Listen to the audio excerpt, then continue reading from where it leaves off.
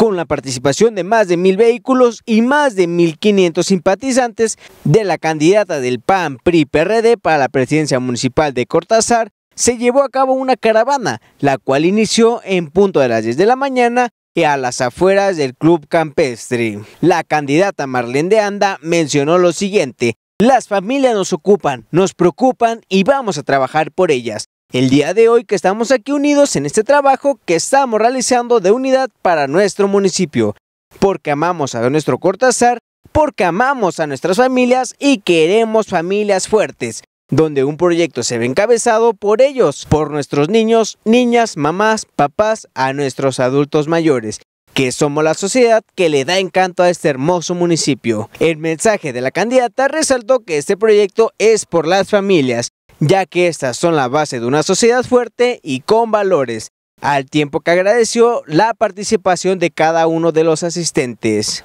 Durante el recorrido se pudieron ver vehículos con pancartas en apoyo a Marlene de Anda, así como adornos con banderas de los partidos que representa. Marlene de Anda mencionó que es un gusto el recorrer las calles y comunidades del municipio, donde de primera mano se conoce las necesidades de los cortazarenses. En el paso de la caravana, las familias se fueron uniendo a este encuentro, donde con gran entusiasmo mostraban su apoyo a Marlene de Anda, los niños y niñas muy contentos la saludaban y entonaban porras de ánimo. Para el sistema de noticias de TV Libertad, con imágenes de Rubén González, Diego García.